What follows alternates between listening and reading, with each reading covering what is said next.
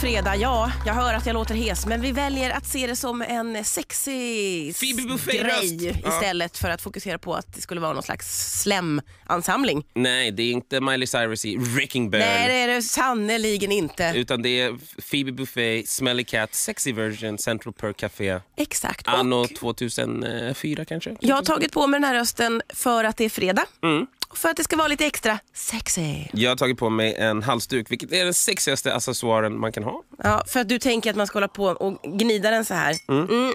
Fram och tillbaks, över folks axlar och bara Faut du fa, bonjour. Man ser ju det ibland. Åh gud, jag såg det senast på ditt bröllop faktiskt. När folk tar och da- något mellan benen. Närmare bestämt vet jag vilka folk det är vi Du pratar vet om. vilka jag pratar om också. Ja, de som Det var har någon en som vi känner, för ja. att dra saker och ting mellan Som benen. lånade någon annans jättefina... Traditionella, eh, anrika familjeklenod. Ja, det var liksom, jag vågar inte ens använda ordet scarf. Det, det, ja, men något, ett fint, fint plagg fick någon vi känner låna. Mm. Ja. Och på dansgolvet så ser jag plötsligt i ögonvrån långt bort tvärs över hur den här står och drar det mellan benen. Grinding. Och, ja, och det, det är ju inte lyckat även om man kan. Nej, men eh, sen blir det ju också att eh, hen Mm. Dansade eventuellt med någon annans mamma. Ja, precis. Det var mycket grinding, väldigt obehagligt att se. Det var det. Det, var, det blev sexuellt på ett väldigt felaktigt sätt. Ja. För att det var någons mamma. Ja.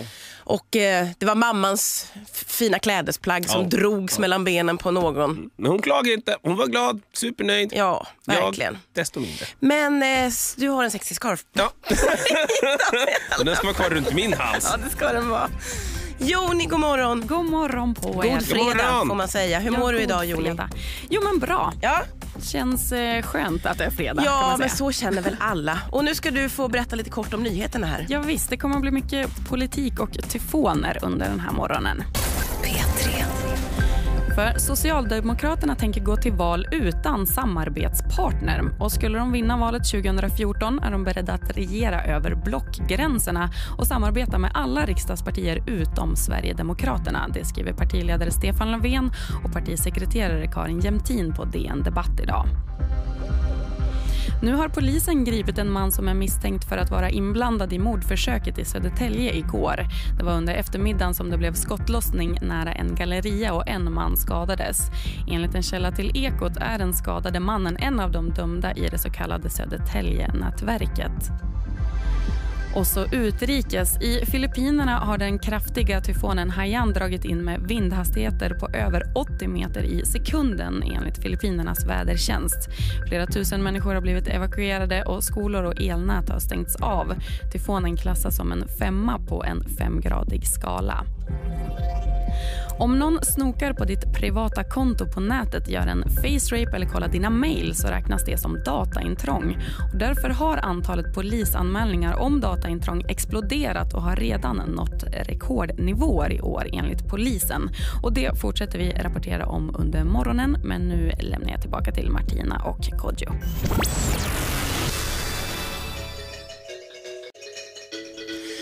Marlene med Bon Voyage i morgonpasset i P3. Sju minuter över halv sju är klockan. Det är fredag. Ja, hur spenderade du gårdagen, käraste vän? Du, igår så... eh, Åh, vad gjorde jag igår? Det känns som att jag gjorde någonting, men jag gjorde nog kanske... i- Vi var här, ja just det, och sen åkte jag hem. Jo, vet du vad jag gjorde igår? Nej. Jag håller på med mitt nya projekt, att renovera mitt dockhus. Just det! Hade du fått ditt golv? Jag hade fått mitt golv. Är det så här klickgolv? Nej, det är... Det tog ett tag innan jag förstod hur man lägger nytt golv i ett dockhus. Det är första gången jag renoverar ett och jag trodde att jag var ensam i världen. Ja. Eh, Men det visade sig att det är inte alls. Det här är en hel stor rörelse runt jordklotet. Det finns grupper på vissa sociala medier Exakt, du. där man kan gå med och då är det ja, mestadels kvinnor skulle jag säga från olika länder som eh, lägger upp bilder på sina renoveringar och då kan man fråga dem om Hur hur, gör man. Ja. Ja. Så då har de här kvinnorna på de här hemliga grupperna på sociala medier eh, tipsat mig om hur man lägger golv. Då har jag beställt sån här du vet, plast, som, eh, självhäftande plast Mhm, Ja, som ser ut som trä. okej. Ah, Det kan man beställa från så hobbyaffärer. Så hade jag beställt på nätet, klick, klick, klick, väntat och väntat och igår Kom golvet! kom golvet och jag har börjat lägga det. Åh, den tillfredsställelsen. Men hur, får jag fråga så lite så basala frågor? ja. Lägger man, hur, eh, hur står huset upprätt? Eller lägger man det liksom så att det ligger på ryggen? Eller liksom, Ja, bra fråga. bra fråga. Det står, ner. eh, det första golvet som jag oh, liksom gjorde, då klippte jag ut en ruta som var lika stor som hela golvet och försökte så här, eh, Mm. Pressa ut det. pressa ut den. Det gjorde jag också, men det är jättesvårt att, att lägga ut en sån stor ruta. Mm. Eh, så det blev kanske en liten, liten bubbla på som jag fick, uh, som var inte perfekt. Men då kan man väl ta och snitta och sen... Ja, precis. Och man kan så här, dra, jag har en svamp som jag Ah. drar med. Så. Oj, oj, oj. Men nu eh, när jag fick mitt trägolv Mm. igår så eh, hade jag lärt mig att man ska klippa lite och ta lite så här en remsa där och en där. Så det Så blev att det blir som klickgolvsplast. perfekt. Ja. Men har du gjort alla våningar då?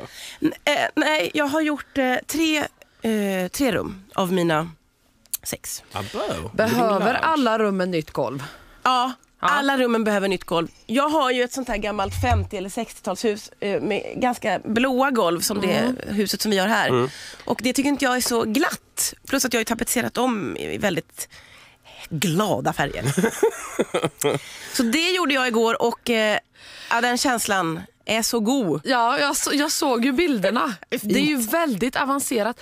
Eh, vi försökte, vi började ju med det dockhuset som vi har. Ja. Vi har ju klippt till där av någon slags så här, eh, som man gör. Något julpapper det där Någon eller? julpapper.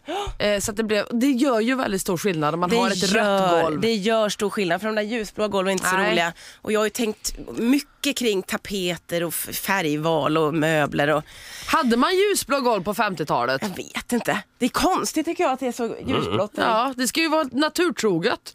Ja. Det ska ju spegla ett, ett riktigt hem.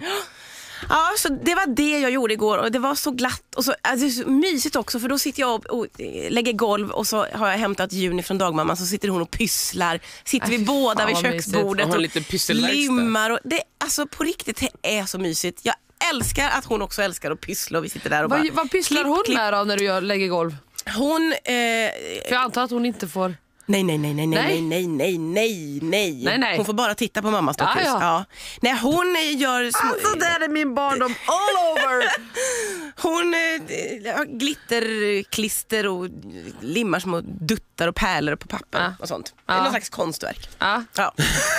Slags Hon har hittat sin bara, egen stil. Golv, golv, golv. Bra Juni!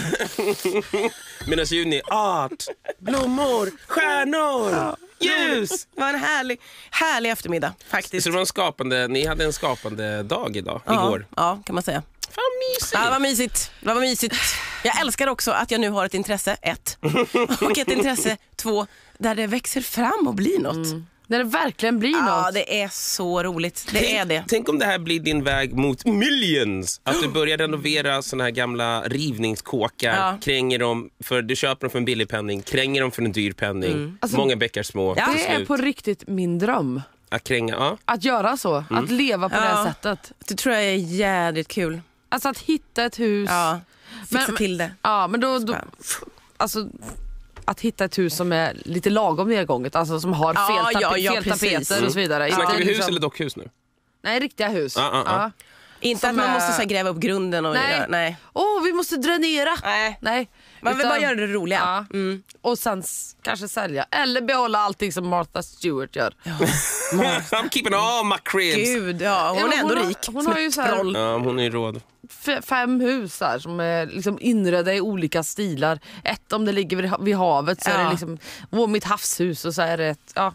Ja, men för jag vet att Oprah Winfrey är också sån här, fast hon är en fastighetsmogul, alltså hon köper mark. Men hennes motivering är att mark är det enda som, är, som det finns en bestämd mängd utav, så varför inte köpa så mycket som det går. Hon är så smart vad gäller pengar den kvinnan. ja, ja, ja, Herregud. Men jag tänker mig också att det här kanske är starten till, om det här är din dröm och din lika så Martina, så kanske det här är starten på era förmögna familjer. Thun och Hellqvist-klanerna. Ja, du menar att om 50 år så kommer eh, dåvarande morgonpasset att bara, ja de här Tuns. Ja, berätta De mer om började ju dem. med Martina. Ja, det är för Harvade många. på. Och Göran kommer ju vara med. Göran Hägg kommer ju vara med då också. Ja, det kommer att Lika fräsch och pigg. Hon köpte eh, pla- självhäftande plast och satte in i det första skåpet. Det vet man inte. Va? Nej, hon kan ju inte varit med imorgon. Hon, va? Nej, jo det är sant. Coldplay med Every Teardrop is a Waterfall. P3. Elinor från Njurundabommen är med här nu. Hallå Elinor! Hallå! Hallå där. Hallå, vart var det du var ifrån? Njurundabommen Vad, vart, vart ligger det? Vad är det? i Sundsvall. Jaha. Vilket ovanligt namn, Njurundabommen. Jag vet, jag har kompisar som kallar det för Njurundabomben. Bomben. Ja. Ja. Hur många är det som bor där då? Det har jag inte en aning. Inte en aning. Men är det som att det är Nej. 5000 eller 53? Ja, jag vet inte. jag vågar inte gissa. Gud vilket Du mystiskt bor inte ställe. ensam i en stuga i alla fall, utan det finns andra Nej. människor. Ja, Ja, ja, men det, Ja, det men räcker. precis. Ja, ja, det låter ju spännande. Men är det, som en, är det som en del i Sundsvall eller är det som en, är det en förort typ eller är det ett Det är typ en kvarter? förort. Ja, ja, ja, okej. Ja, men då flyter det ihop. Jag fattar. Jag fattar, jag fattar. Hörru du, Elinor. Det är ju, eh, ja, det är ju helg precis strax. Ja, precis. Vad ska du göra för någonting? Ta det lugnt. Ska på och mysa med hästen min. Vad sa du? att? Jag ska hålla på och mysa med hästen min. Ska du mysa med hästen? Åh, vad Men mysigt. ska du ut och köra lastbil något? Nej, inte än. Det blir nästa vecka. Ah. Kan du inte berätta om din häst? Ja, en stor, mysig köttboll, brukar jag säga. Min runda köttbulle. Stor mysig Köttbulle. Köttbulle! köttbulle. Ja. Vad är det för sorts häst? Det är gammal travare. Okej, hur länge har du haft, är det en hon eller han? Det är en hon. Hon heter Elias. Jaha. Eli. Ja. Hur länge har du haft, hur länge har du haft Eli? Eh, jag hade på bordet förut och så hade jag henne i två år. Så jag kunde få lämna tillbaka till mig. Jag har precis fått tillbaka den här. Igen. Ja, okej. Ja. Ja. Och anledningen till att Kodjo frågade om du ska köra lastbil är för att du sk- skriver i motiveringen att du har skrivit upp för lastbilskort. Ja, precis. Hur gick det? Och jag hade ett ifrån. Nej! Gud så retligt. Ja, det är det sämsta sättet att missa på. Åh, fruktansvärt. Vi lider med dig. Åh, gud. Jag missade Ja, med... det kändes jättehårt. Ja, men jag missade fy. med tre poäng första gången jag skrev Men mitt ett enda. Ska du skriva om nästa vecka då eller? Ja, jag ska skriva om det på två veckor. Ja, ja, ja. Ja, jag håller tummarna. det. Då kommer du ta det. Mm. Då tar du det, såklart. Och plus att, Elinor, om det är någonting Idol har lärt oss så är det bättre att klara det andra gången eller komma andra plats än att vinna. Ja, men precis. Ja, tänka positivt. Ja. Du, vad vill du lyssna på för låt? Brooklyn Black med Northern Market. Den kommer här för dig. Vi håller tummarna för när du skriver nästa gång. Får jag hälsa? ja. Då vill jag hälsa till Linus Falk som fyller 21 idag och blir myndig för att ta lastbilskortet. Ja, Åh, grattis Linus! Grattis Linus. Ha det bra Elinor! Detsamma. Hej då! Porcelain Black med eh, Naughty Naughty. Det var ju alltså en önskelåt och det var Elinor från Njurundabommen. Just det. Eller njurrunda bomben. Som man kan säga på skoj om man känner henne lite. Ja. Hon hade önskat, eh, hon eh, ja, behövde ju att alla håller tummarna för henne nästa Mm. gång hon skriver. Skriver upp eh, för Oj, vad törligt lastbilskort. att missa. ett ifrån, det är ju som du säger, det är det värsta. Det är det värsta sättet. kan inte Ja. bli värre. Då är Ja. det bättre att ha så här, jag hade hälften fel. Mm. För då är man fel ute. Gud så nära. Ja, ja, men man, om man ska misslyckas ska man misslyckas fatalt. Ja, precis. Inte så att man nästan klarar det. Men vi, eh, vi väldigt, eh, känner på oss bra saker och vi känner på oss att det kommer att gå bra Mm, nästa gång. Eh, Sverigesradio.se snedstreck P3 är adressen till vår hemsida där man fyller i eh, önska en låt. Formuläret. Jag har en jättehemsk, eh, eller hem, inte- eller men det är en sorglig nyhet. Ehm, det handlar om ett tyskt par i Tyskland, närmare bestämt Lübeck. Ett tyskt par i Tyskland. Ja, otippat men sant. Eh, som har varit tillsammans i åtta år och försökt att eh, få barn. Och det, kan ju, och det, är liksom, det är ju jätte, jättejobbigt det här med när man väl har bestämt sig att men fuck it, nu kör vi. Liksom. Och så är det inte bara att Nej. liksom, Kommer inga 30 barn. sekunder och sen nio månader senare. För vissa är det svårare än för andra. Mm. Eh, Så att det här paret gjorde som man gör efter man har testat fruktansvärt länge och- att få barn. Eh, De gick till en fertilitetsklinik för att se är det fel på mig eller fel på honom. Liksom vem utav oss är det som inte funkar som de ska. Det visade sig att båda fungerar jätte, jättebra. Men när rådgivaren frågade hur ofta i veckan har ni sex, då satt båda två som två fågelholkar och bara hoho, hoho. Vassis sex. Va? Nej. Det visar sig att de här två har vuxit upp i en extremt religiös liten... Nej, men eh, sluta. Jo, och därför har de ingen aning som helst om sex och vad det är till för. Nej. Ja, så nu är det så. Det här är via Aftonbladet och det är Johan Taubert som har tagit fram det här Lägg nyheten. av. Nej, ja, så nu håller de på och pluggar eh, sexualkunskap på, på universitetskliniken i? Lübeck. 30 och 36. Men hur trodde de att man får barn då? Ja, men sitter väl fan och väntar på storken fattar ni väl? Nej. Jo, vi, vi Får uh, vänta till åtta år. children och sen sitta och vänta. Men alltså jag, jag kan förstå att man kan växa upp då, låt oss säga en sekt där man inte pratar om sex och inte Ja. lär ut det. Jag, jag fattar att det förekommer och att man kan växa upp utan den kunskapen. Men om man blir ihop sen och bor ihop i ett hus, Japp. då tycker jag att det är konstigt att man inte upptäcker sex själv. Men det är det jag tänker också. Eller liksom att man inte bara så här, ja, men förstår ni vad jag grann. menar? Ja. Eller Den att naturliga man, driften att borde det kicka är in. någonting som kanske borde så här pirra till ibland eller att man råkar röra varandra så bara gud. Att man inte upptäcker det under åtta år. Det, Men skulle Eller du själv inte det? tända på en sektmedlem? om man om, själv om är båda en var sektmedlemmar så kan jag tänka mig att man är så här, men herregud vad det pirrar till. Ja. Alltså, jag Jag bara tycker det är konstigt att Den inte... blå lagunen. ja. Där upptäcker de ju Till med ja själva. men precis. Ja. Så då tänker jag att det skulle vara What samma. are you doing? Nothing, leave me alone. Det var exakt det jag tänkte Why does it look like that? I don't know. Gud, jag älskade blå lagunen. Ja, men det var så bra. 30 och 36. What are you doing? Nothing, nothing. Men då får vi ju Okej. hålla tummarna för dem också nu då. Ja, men vad fan, har man väntat i 30 respektive 36 år så tror jag nog att det går jävligt fort att få till det där. Alltså. Så när man väl har fattat hur man gör. Ja, Ja, precis. ja, men övning ger färdighet. Det är bara testa och köra och vet, ja, övning ger färdighet. Gud, sitta och vänta. Nej, fy fan. Right, das ist ein Stock! Ja, här! Meine Baby! Alicia Keys med Try Sleeping with a Broken Heart. Nu slår klockan sju alldeles strax och då är det dags för Joni och Peter Nyheter. Hallå Joni! Hallå! Nu om att snokande på nätet gör att anmälningarna av dataintrång ökar. Men först ska det handla om politik. Om Socialdemokraterna vinner valet kan de tänka sig att regera med nästan alla partier utom Sverigedemokraterna.